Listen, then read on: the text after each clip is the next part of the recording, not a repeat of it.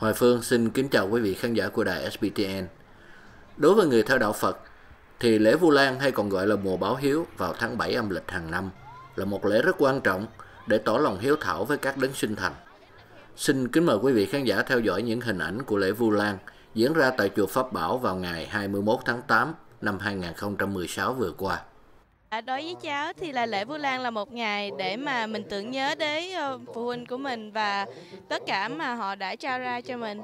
Thì uh, cháu thấy là hôm nay là một ngày rất quan trọng vì có lúc uh, mình quên đi là ba mẹ mình đã bỏ ra rất là nhiều công sức để mà nuôi dưỡng mình và uh, dạy dỗ mình thì là hôm nay là ngày để mà nhớ và để uh, báo hiếu lại với lại ba mẹ. Nam mô Bổn sư Thích Ca Mâu Ni Phật. Nam mô A Di Đà Phật. Dạ con ờ, đã quy y ở chùa này được ờ, 6 bảy 7 năm nay rồi. À, và trong ngày lễ Vu Lan à, con à, đối với ba má con thì hiện giờ ba má con đang ở Việt Nam. À, con cũng đã có gọi điện thoại về để mà chúc ngày lễ Vu Lan cho ba má con.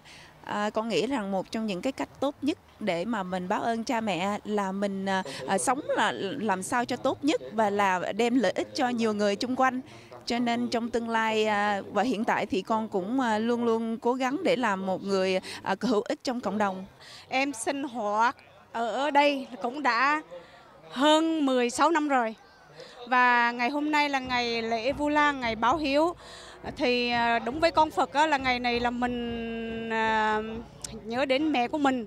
Thì à, những, nói đến mẹ thì làm cho em xúc động, em nhớ mẹ em quá vì mẹ em đang còn ở Việt Nam đó nếu em gần mẹ em thì em lúc nào những ngày này đưa mẹ lên chùa và may mắn là mẹ vẫn còn sống là em được cài một đóa hoa hồng ở trên ngực và trong ngày dịp lễ Vu Lan thì em xin kính chúc tất cả những người còn mẹ được vui sướng, cài một đóa hoa hồng.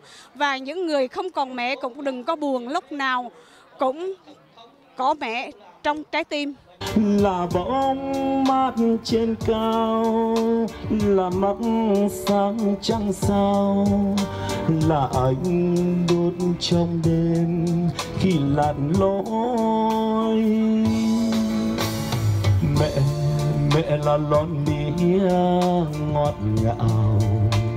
Mẹ mẹ là nai chuối buồn cao, là tiên sẽ đêm thâu, là nắng ấm nương dâu, là vốn liêng yêu thương cho cuộc đời. Rồi một chiều nào đó anh về nhìn mẹ yêu nhìn thật lâu rồi nói nói với mẹ rằng Hoài Phương, tường trình từ Boneric, Úc Châu. Xin kính chào quý vị khán giả đã theo dõi phóng sự này.